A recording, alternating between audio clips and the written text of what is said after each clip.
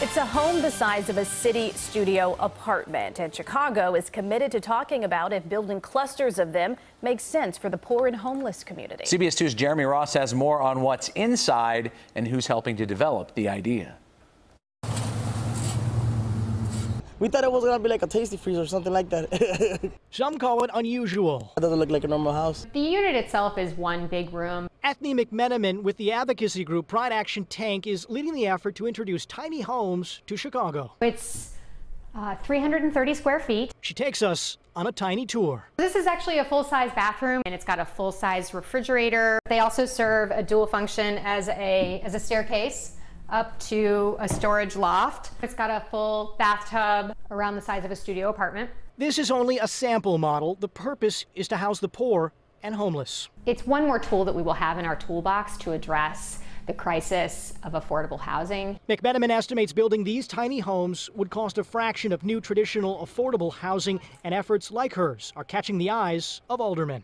Is there a uh, funding source? Um, I think there is. Should we talk about it? Uh, why not? We are currently looking for city land and other kind of opportunities so that we could hopefully begin construction this year. Alderman Raymond Lopez is looking for five to six vacant city lots to build about a dozen homes. McMenamin says they're not for everyone or every community, and they'll only be built in neighborhoods where they're welcome. We're not trying to replace any currently existing housing models. We really just want to add to the menu of options now, these homes can run thousands to tens of thousands of dollars to build, and projects like this are getting results in places like Portland. Now, today, Alderman Burke started the process to bring experts into City Hall to discuss this issue.